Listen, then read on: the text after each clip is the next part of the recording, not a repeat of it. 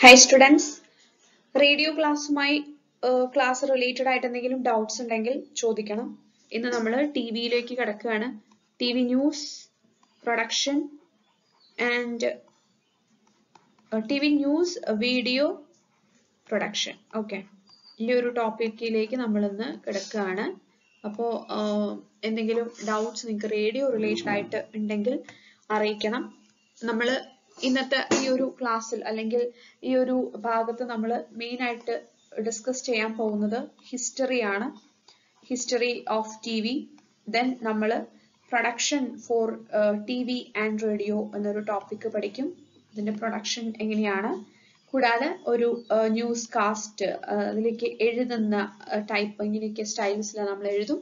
ഇത്തരം കാര്യങ്ങളാണ് നമ്മൾ ഡിസ്കസ് ചെയ്യാൻ പോകുന്നത്. സോ നമ്മൾ നമുക്ക് നിങ്ങൾക്ക് ഇതൊരു ചാപ്റ്റർ പോകുമ്പം എന്തൊക്കെ പഠിക്കാം നമുക്ക് നോക്കാം. അപ്പോ മാർഷൽ എം സി ലൂഹൻ എന്നൊരു സയന്റിസ്റ്റിനെ കുറിച്ച് അല്ലെങ്കിൽ ഒരു സ്കോളറിനെ കുറിച്ച് നിങ്ങൾ പഠിച്ചിട്ടുണ്ടായിരിക്കും. മാർഷൽ എം സി ലൂഹൻ അല്ലെ? One of the legends of mass communication studies had predicted that TV would bring us together into a global village അത് അദ്ദേഹം പറഞ്ഞത് ഒന്ന് നോക്കുമ്പോൾ വളരെ കറക്റ്റ് ആണ് അല്ലെ? ടി വി വെച്ച് ഒരുപാട് തിയറീസ് വന്നിട്ടുണ്ട്. ടി വി റിലേറ്റഡ് ആയിട്ടാണ് നമുക്ക് കൾട്ടിവേഷൻ തിയറി പഠിക്കാനുള്ളത്.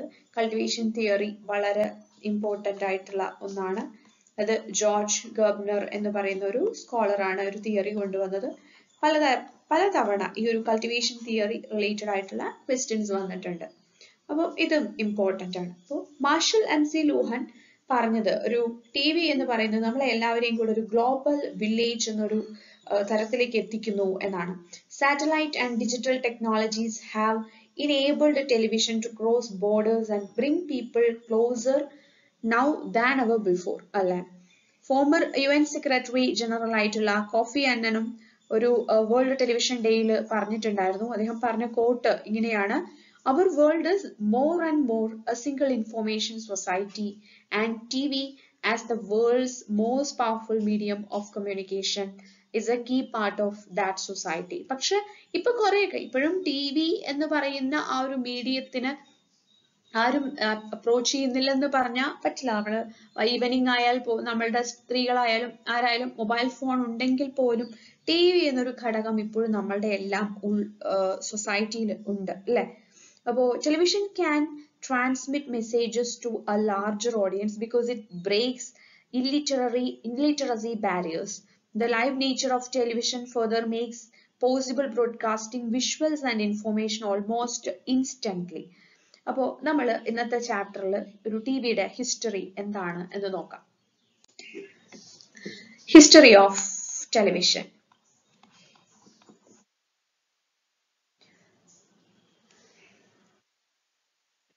Konstantin Persky coined the word TV in a paper presented to the International Electricity Congress in 1900. അദ്ദേഹത്തിന്റെ പേര് അത്ര ഇമ്പോർട്ടന്റ് അല്ല. ഞാൻ എന്നാൽ എഴുതാം. കോൺസ്റ്റാന്റിൻ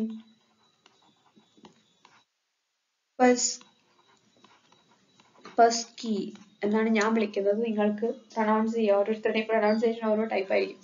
അപ്പൊ അദ്ദേഹമാണ് അങ്ങനെ ഒരു വേർഡ് ഒരു ഇന്റർനാഷണൽ ഇലക്ട്രിസിറ്റി കോൺഗ്രസ് എന്നൊരു പേപ്പർ ആ സമയത്ത് ഒരു പേപ്പർ പ്രസന്റ് ചെയ്ത സമയത്ത് അദ്ദേഹം ഉപയോഗിച്ചൊരു വേർഡ് ആണ് ടെലിവിഷൻ അപ്പം ഇത് ലേറ്റ് എയ്റ്റീൻ ഹൺഡ്രഡ്സ് ഇത് നയന്റീൻ ഹൺഡ്രഡിൽ സംഭവിച്ച ഒരു കാര്യമാണ്. പക്ഷെ eighteen ഹൺഡ്രഡിൽ Paul Gottlieb Nipkow develop the first ever mechanical model of the T V ഒരു around nineteen nought seven Scientists uh, A. Campbell Swinton from England and Boris Rosing from Russia used the cathode ray tube in addition to the mechanical scanner system to create a new TV system. Okay.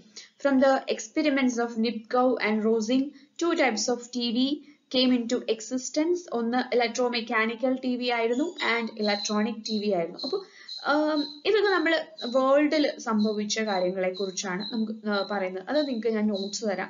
അത്ര detailed ആയിട്ട് ഇപ്പോൾ നിങ്ങൾ അറിയേണ്ട ആവശ്യമില്ല. നമുക്ക് ഇന്ത്യയുടെ ഒരു television എങ്ങനെയായിരുന്നു? ഇന്ത്യയിലേക്ക് ഒരു ടെലിവിഷന്റെ വരവ്? അത്തരം കാര്യങ്ങൾ നമുക്ക് ഡിസ്കസ് ചെയ്യാം. Television in India is a multi billion rupee industry that produces numerous programs in many languages providing information and entertainment to millions of peoples okay. Television broadcasting industry എന്ന് പറഞ്ഞു കഴിഞ്ഞാൽ ഒരു ഹംബിൾ ബിഗിനിങ് ആയിരുന്നു. അത് begin ചെയ്തത് ഒരു nineteen fifty നയനിലാണ് nineteen fifty nine അത് റേഡിയോ വന്ന് കുറേ വർഷങ്ങൾക്ക് ശേഷം ഒരു എക്സ്പെരിമെന്റ് പോലെ നമ്മുടെ ഓൾ ഇന്ത്യ റേഡിയോന്റെ അണ്ടറിൽ തന്നെയാണ് ഇത് വരുന്നത്. The the television programs considered of an an long educational fare broadcast twice a week Then several community television sets were set up for receiving these programs in the rural areas of New Delhi and in the city schools. The project was founded by the foundation. By the uh, 1970s, television centers and studios were opened in other parts of the country. In 1976, television was delinked from All India Radio and it became Doordarshan. Doordarshan ആയിട്ട് മാറി year ഓർത്തോളൂ. Nineteen seventy സിക്സിലാണ് ഇത് delink ചെയ്തത്. അതുവരെ ഇത് all India റേഡിയോന്റെ അണ്ടറിലായിരുന്നു ടി വി വന്നിരുന്നത്. അത് ഡീലിങ്ക് ചെയ്തിട്ട് നയന്റീൻ സെവന്റി സിക്സിൽ ദൂരദർശനായി.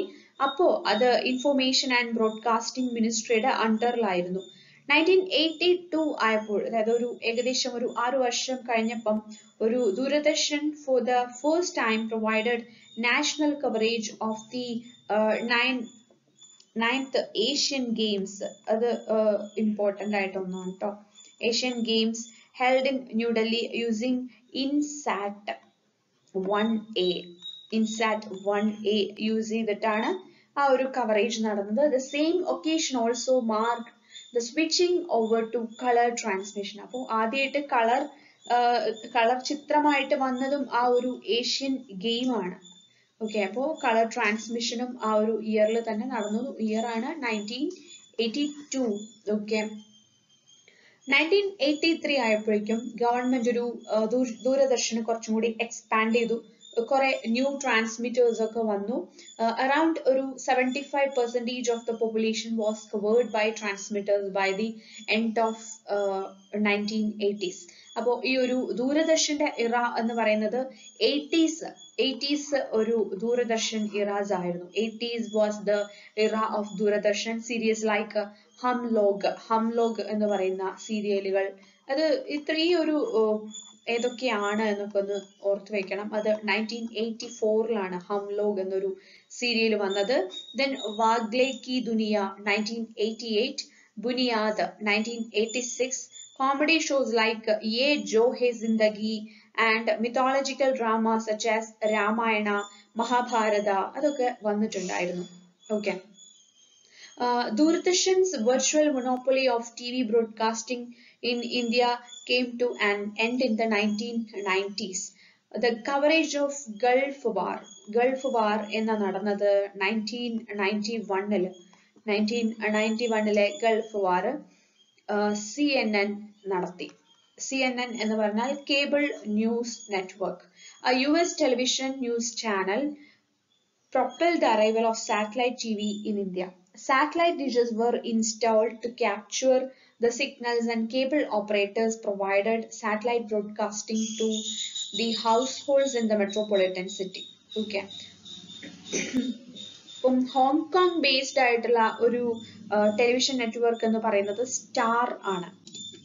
സ്റ്റാർ സ്റ്റാറിന്റെ ഒരു ഫുൾ ഫോം എന്ന് പറയുന്നത് satellite television Asian region okay multinational television network ആണ് entered into an agreement with the Indian company Indian company ആരായിരുന്നു? സി ടി വി ആയിരുന്നു. സി ടി വി വെച്ചിട്ടൊരു എഗ്രിമെന്റ് വന്നു. വാസ് ബോൺ അങ്ങനെയാണ് it became the first privately owned Hindi satellite channel in the country അപ്പം ഏതാണ്? Star T V network okay അപ്പോൾ ഹോങ്കോങ്ങിലുള്ള സ്റ്റാറും C T വിയും ചേർന്നിട്ട് ആദ്യമായിട്ട് നമ്മുടെ ഇന്ത്യയിൽ ഒരു പ്രൈവറ്റ്ലി ഓൺഡ് ആയിട്ടുള്ള ഒരു ഹിന്ദി സാറ്റലൈറ്റ് ചാനൽ വരാണ് Star T V network introduced five T V channels into Indian broadcasting space that had been monopolized by Doordarshan കൂടാതെ ഒരുപാട് പ്രൈവറ്റ് ചാനലുകൾ എമോജ് ചെയ്യാൻ തുടങ്ങി. Twenty four hour news channels ഒക്കെ വരാൻ തുടങ്ങി. റിലീജിയസ് ചാനൽസ് വന്നു തുടങ്ങി. കാർട്ടൂൺ ചാനൽസ് മൂവി ചാനൽസ് അങ്ങനെ ഒരു വലിയൊരു എക്സ്പ്ലോഷൻ തന്നെ അവിടെ സംഭവിച്ചു. The information and broadcasting ministry has so far granted permission to 792 TV channels up to March 2014. അപ്പോ ഇപ്പോ കറന്റ് ട്വന്റി ട്വന്റി ത്രീയിൽ എത്ര ടി വി ചാനൽസ് ഉണ്ടായിരിക്കും എന്ന് നിങ്ങളൊന്ന് നോക്കി നോക്കൂ. ഓക്കെ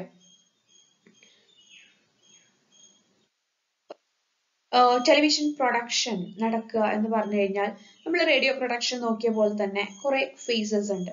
ഒരു പ്രൊഡ്യൂസർ അല്ലെങ്കിൽ ഒരു ഡയറക്ടറാണ് ആദ്യം വേണ്ടത്. പ്രൊഡ്യൂസർ അല്ലെങ്കിൽ ഒരു ഡയറക്ടർ നോട്ട്സ് എഴുതേണ്ട ആവശ്യമൊന്നുമില്ല ജസ്റ്റ് കേട്ടിരുന്നാൽ മതി. പ്രൊഡ്യൂസർ എന്ന് പറഞ്ഞാൽ ഞാൻ ഒരു equivalent term for the director in film എന്നാണ്.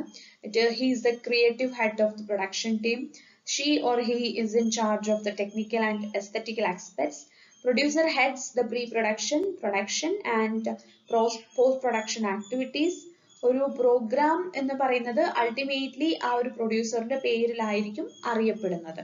പ്രൊഡക്ഷൻ അസിസ്റ്റൻസ് എന്ന് പറഞ്ഞു കഴിഞ്ഞാൽ they ensure that script talent crew properties ഒക്കെ കറക്റ്റ് സമയത്ത് നടക്കുന്നുണ്ടോ? ഷൂട്ടിംഗ് സൈറ്റിൽ എത്തുന്നുണ്ടോ അവർ റിഹേഴ്സൽസ് ഓർഗനൈസ് ചെയ്യും ആക്ടിവിറ്റീസ് ഒക്കെ കോർഡിനേറ്റ് ചെയ്യും ഷൂട്ടിംഗ് സൈറ്റ് കണ്ടുപിടിക്കും. ഇത്തരം കാര്യങ്ങളൊക്കെ നോക്കുന്ന അസിസ്റ്റൻസ് ആണ് production assistance and their responsibilities also include logging tapes taking notes during production meetings okay ഇനി നമുക്കൊരു സ്ക്രിപ്റ്റ് റൈറ്ററെ വേണം. സ്ക്രിപ്റ്റ് റൈറ്റർ എന്ത് ചെയ്യും? ഓഫ് കോഴ്സ് അദ്ദേഹം ഒരു ഐഡിയാസും അദ്ദേഹത്തിന്റെ ക്രിയേറ്റിവിറ്റി ഒക്കെ വെച്ച് നല്ലൊരു വേർഡ്സിലാക്കി അദ്ദേഹം ഒരു സ്ക്രിപ്റ്റ് ക്രിയേറ്റ് ചെയ്യും. അതിനുശേഷം ഒരു ക്യാമറ പേഴ്സൺ അല്ലെങ്കിൽ ഒരു വീഡിയോഗ്രാഫറെ ആവശ്യമാണ് ഇത് ഷൂട്ട് ചെയ്യുന്നതിന് വേണ്ടിയിട്ട്. ദെൻ നമുക്കൊരു സെറ്റ് ഡിസൈനറെ വേണം. സെറ്റ് ഡിസൈനർ എന്ന് പറയുന്നത് എസ് എന്നൊരു വാക്കും ഉപയോഗിക്കും എസ് ഡി എന്ന് ഷോർട്ട് ഫോമിൽ വിളിക്കും.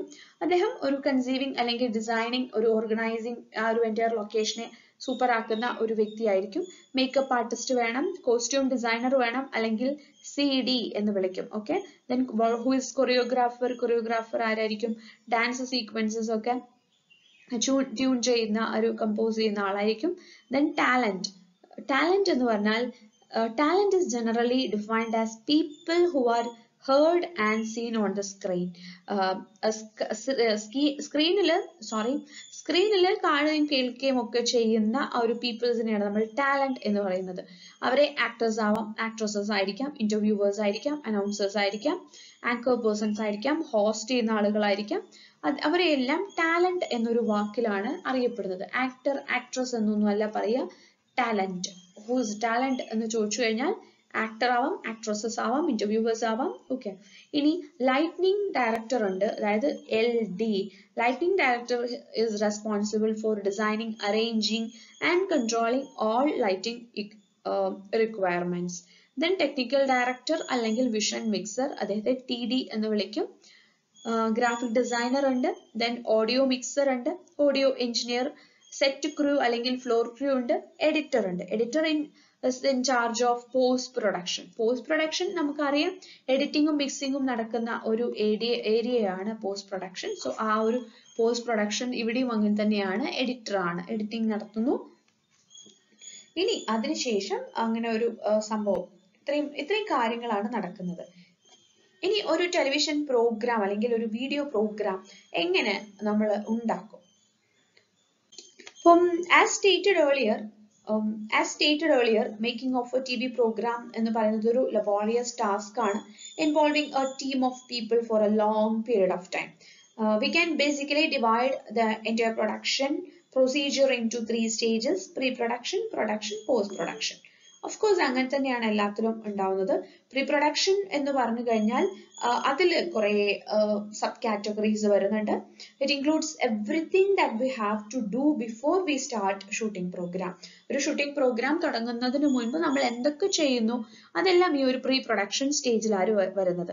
പ്രിപ്പറേഷൻ ഓർഗനൈസേഷൻ റിഹേഴ്സൽ അങ്ങനെ കുറെ വേരിയസ് സ്റ്റേജസ് ഉണ്ട്. ആ സ്റ്റേജസ് ഏതൊക്കെയാണ് എന്ന് നമുക്ക് നോക്കാം. കൺസെപ്ച്വലൈസേഷൻ എന്ന് പറഞ്ഞൊരു സ്റ്റേജ് ഉണ്ട്. കൺസെപ്ച്വലൈസേഷൻ സ്റ്റേജ് എന്ന് പറഞ്ഞാൽ അതൊരു ഐഡിയ ജനറേറ്റിംഗ് പ്രോസസ് ആണ്. ഇവിടെയാണ് നമ്മൾ ഐഡിയ ജനറേറ്റ് ചെയ്യുന്നത്. അത് കഴിഞ്ഞ് വൺ ലൈൻ ട്രീറ്റ്മെന്റ് എന്നിട്ട് ഒരു പ്രോസസ് ഉണ്ട്. One line treatment one line treatment is important to understand at a glance what the television program is all about എന്താണ് എന്ന് മനസ്സിലാക്കുന്ന ഒരു സംഭവമായിരിക്കും. ഒരു finalising idea okay then research research എന്ന് പറഞ്ഞു കഴിഞ്ഞാൽ എന്താണ്? നമ്മൾ we begin research on various aspects of subject matter we collect data from various sources to find out the feasibility of producing a program as well as the other details okay location ഒക്കെ കണ്ടുപിടിക്കുന്നത് പോലും റിസർച്ചിന്റെ ഉള്ളിൽ വരുന്നതാണ്. ഇനി വരുന്നതാണ് proposal what is proposal proposal എന്ന് പറഞ്ഞാൽ അതിന്റെ ഒരു വാക്കുണ്ട് നിങ്ങൾ ഓർത്തു വെച്ചോളൂ. First document of First document of pre production pre പ്രൊഡക്ഷന്റെ first document എന്ന് വിളിക്കുന്നത് നമ്മുടെ ഈ പ്രൊപ്പോസലിനെയാണ് first document of a pre production is called a proposal it is generally written by the producer with the help of a writer. It should be prepared only after getting the basic information and holding site surveys and interviews. Okay. ഇനി ഇതിന് ശേഷം വരുന്നതാണ് treatment treatment എന്ന് പറഞ്ഞാൽ എന്താണ്? Treatment is written after the proposal has been approved and it is same as the proposal except that it is a lot more descriptive ട്രീറ്റ്മെന്റും ഏകദേശം proposal തന്നെയാണ്. ഇനിയാണ് സ്ക്രിപ്റ്റിന്റെ കളി. സ്ക്രിപ്റ്റ് സ്ക്രിപ്റ്റ് എന്ന് പറഞ്ഞാൽ ആഫ്റ്റർ ദ ട്രീറ്റ്മെന്റ് ട്രീറ്റ്മെന്റ് കഴിഞ്ഞതിന് ശേഷം ഒരു നമ്മൾ റിട്ടേൺ ആൻഡ് അപ്രൂവ് ചെയ്യുന്നു. നമ്മൾ ഒരു സ്ക്രിപ്റ്റ് എഴുതുന്നു. It is perhaps the most important pre production document and forms the basis of the entire production script എന്താണെന്ന് നിങ്ങൾക്ക് എല്ലാവർക്കും അറിയാം. ദെൻ അതിനുശേഷം നമ്മൾ സ്ക്രീൻ പ്ലേ എഴുതുന്നു. സ്ക്രീൻ പ്ലേ അത് എങ്ങനെയൊക്കെ എവിടെയൊക്കെ വെക്കണം ആരൊക്കെ എവിടെയൊക്കെ നിൽക്കണം അതൊരു നമ്മളൊരു പേ ക്യാരക്ടേഴ്സിനെയൊക്കെ ഒബ്ജക്ട്സിനെയൊക്കെ നമ്മൾ വരയ്ക്കുന്നതും അത് കൂടെ എഴുതുന്നതും ഒക്കെയാണ് സ്ക്രീൻ പ്ലേ